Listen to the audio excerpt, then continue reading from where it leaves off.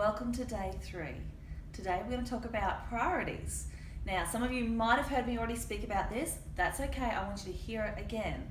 The reason why I want you to hear it again is because there's still a lot of shame and mindsets of shame around looking after yourself and your health. So let me just talk you through priorities again. If you've got a pen and paper, write it down. If not, you'll see a PDF just below and that will have what I'm talking about there so you can see it. So I have the four non-negotiables of priorities of how you do life. Now, if you don't have one of those elements, you can just put a line through it. There's no uh, ifs and buts about that. That's fine. Um, so number one is your relationship with God. Now, doesn't matter what you believe in. I know we've got people of different religions watching at the moment, and that's totally fine. But I think that the thing that we can all agree on is that we are spirit beings living in a natural world. The reason why we put our relationship with God, our Creator, who, who you believe in, as number one is because if we don't have our spirit telling our soul and body what to do, then it leaves it up for our body and our soul to tell our spirit what to do. And that's where you get a lot of uh, confusion. Uh, other um, practices will call it imbalance in your life. For instance, you're uh, a very emotional person, you're led by emotions and this and that, and you know, you can't bring yourself to a place of. Um, security because you're just getting blown around by the wind because your emotions, your soul is leading the way instead of your spirit.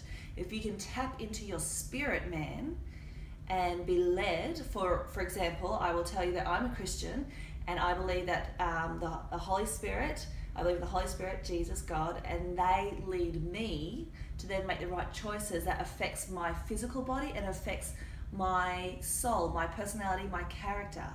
Or otherwise, if my body starts telling my spirit to do, I wouldn't get up and go to church. I wouldn't get up and do as good as what I do in life or you know look after the kids because it's around the wrong way.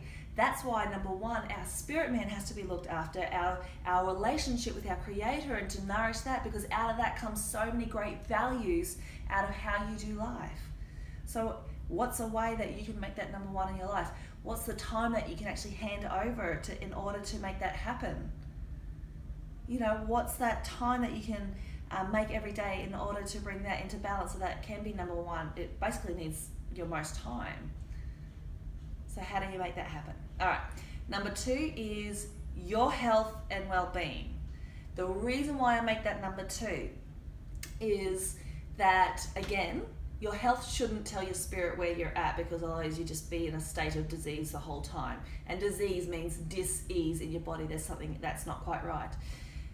Where is you, if your spirit man is leading the way, it tells your body that to be healed and it will be healed. To be healthy, to be strong, your body will follow suit. And we're going to talk more about that in the next uh, couple of days. I just I can't get into that right now. Um, so let me keep going. Number three is your relationship with your spouse. Now, I know we have a few single mums here. We also have a few single girls watching, which is fantastic.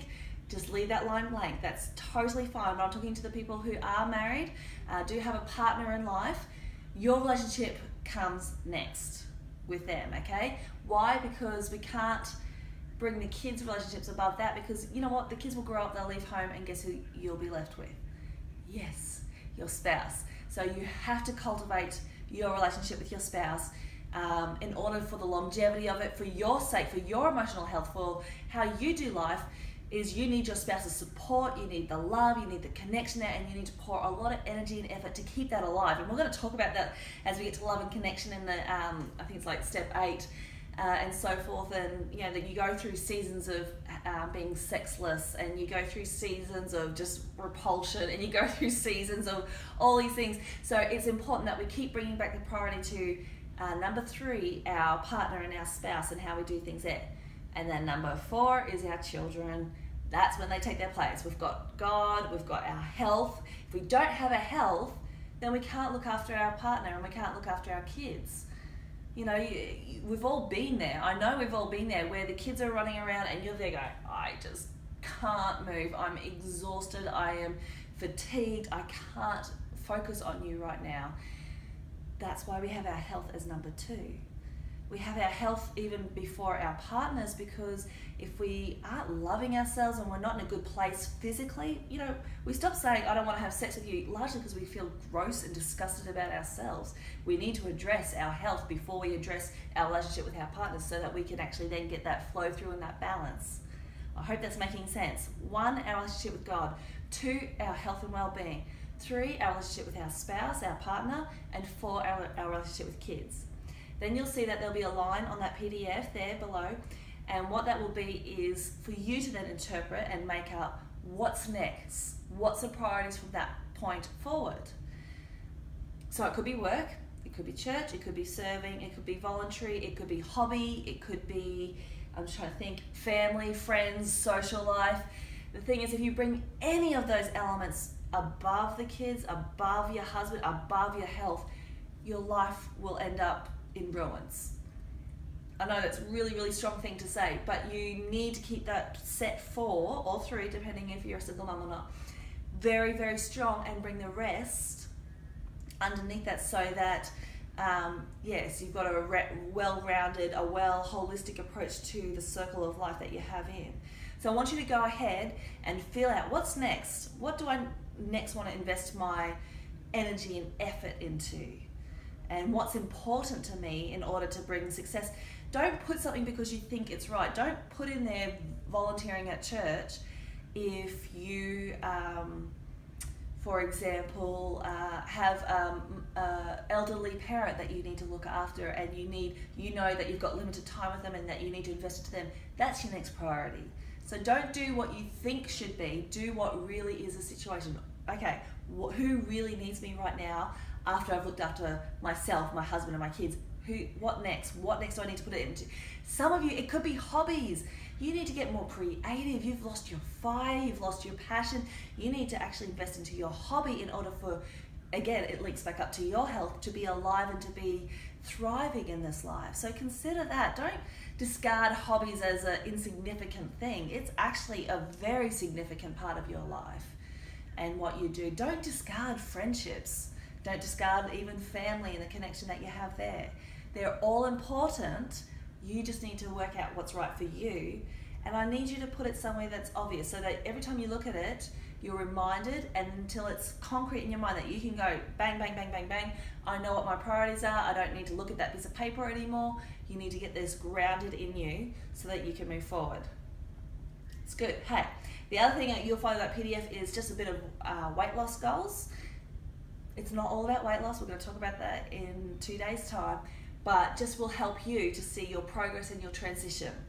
Okay, so go ahead and fill out your current BMI, body fat percentage, uh, weight, and so forth, and then at the end of the three months or 12 weeks, we'll then have a look again and take uh, fill in the blanks from that point forward. But you still need to measure your success in some way, shape, or form.